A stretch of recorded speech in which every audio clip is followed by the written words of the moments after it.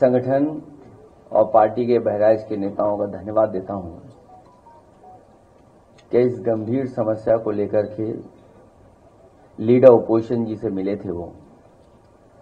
और कल ही जब मेरी आदरणीय माता प्रसाद पांडे जी से बात हुई तो हम लोगों ने तय किया कि जिन बच्चों का नुकसान हुआ है, घायल हुए हैं, चोट खाए हैं, उन परिवार के सदस्यों को बुलाकर के मैं मिलूँगा।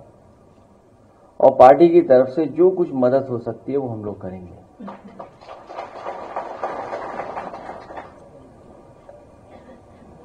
जब से भारतीय जनता पार्टी की सरकार उत्तर प्रदेश में बनी है, जानवरों का आतंक हर जगह देखने को मिल रहा है। चाहे हमारे गाँव हों, चाहे हमारे रहसी इलाका, शहर हों और चाहे हम नोएडा गाजियाबाद की कभी कभी खबरें सुनने को मिलती हैं वहाँ से भी खबरें आती हैं।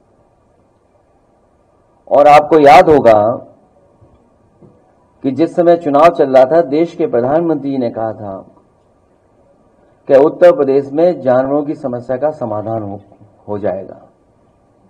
और उन्होंने अपने भाषण में भी ये कहा कि हमारे पास पूरा रोड मैप तैयार है।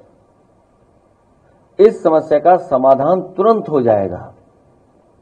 लेकिन इधर हम लोग देख रहे हैं, हर दिन कोई न कोई एक्सीडेंट हो रहा है। जो सड़कों पे जानवर हैं, उससे जान जा रही है।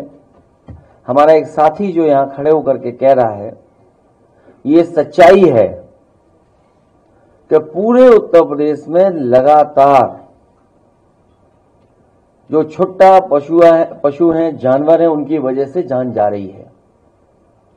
और इधर समाजवादी पार्टी ने विधानसभा में भी सरकार को जगाने की कोशिश की।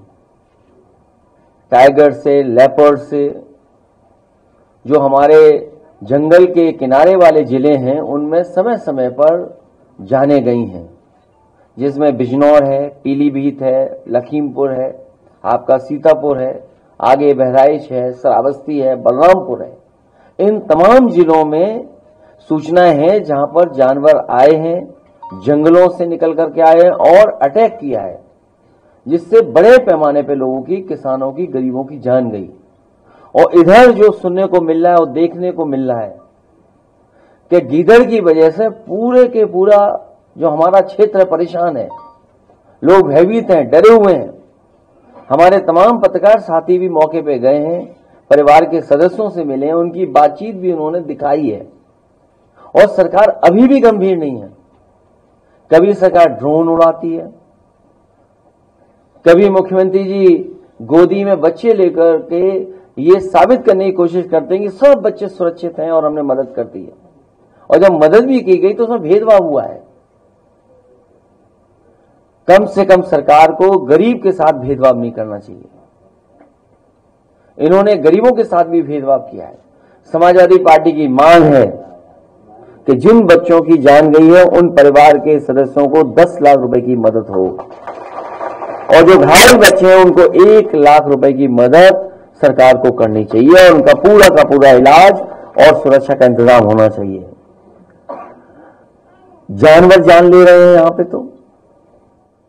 और जिन्होंने, जैसा मैंने पहले कहा, कि जिन्होंने जानवर की समस्या को खत्म करने के लिए बड़े बड़े वादे किए थे, उन लोगों की जवाबदेही निश्चित होनी चाहिए और वादा खिलाफी पर सवाल भी उठने चाहिए। जानवरों की समस्या से निपटने के लिए एक एसटीएफ बनानी चाहिए और या फिर गीदड़ की समस्या का समाधान के लिए ये भी केस एसटीएफ को ट्रांसफ़र कर देना चाहिए। जो लोग देखते ही कहते हैं, ठोक दो। कम से कम उस एसटीएफ को ये नया काम देना चाहिए कि गीदड़ों को भी ठोक दें। जानवरों के इनकाउंटर की जगह, उनके रिहायशी जंगलों को अवैध कटाई से रोकने की ज़रूरत है।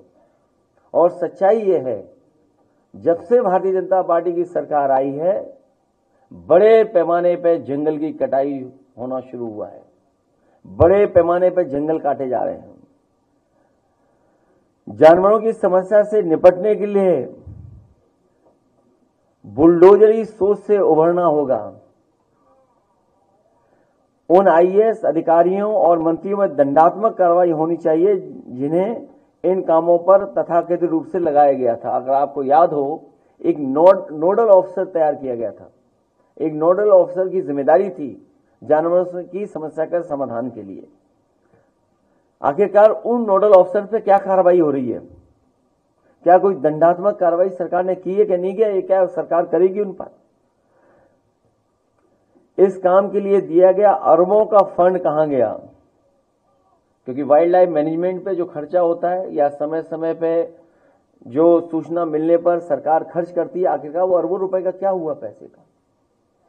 क्या वजह है कि उनके अपने लोगों को बंदूक लेकर के निकलना पड़ रहा है? या हो सकता है कि जिन मंत्री का विभाग है, उन्हें भी काम करने का मौका न मिल रहा उन्हें काम करने न दिया जा रहा हो।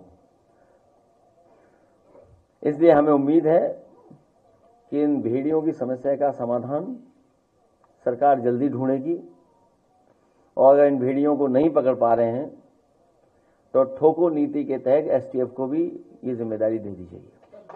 कि अगर एसटीएफ पे इतना ही भरोसा है और ठोको नीति इतना ही उन पे है तो ये केस भी उन्हीं को ट्रांसफ़र कर दें। क्यों रखें फॉरेस्ट डिपार्टमेंट पे? और जहाँ तक आप सवाल उठा रहे हैं, जो बात पूछ रहे हैं, उसकी गहराई में अगर आप जाएँगे, जो एसटीएफ के लोग हैं, सुनने में आ रहा है और जानकारी मिल रही है कि अगर 11 एक तरह के लोग एक तरह से हैं तो उनमें से सबसे ज़्यादा अगर कहीं है तो जौनपुर के लोग हैं।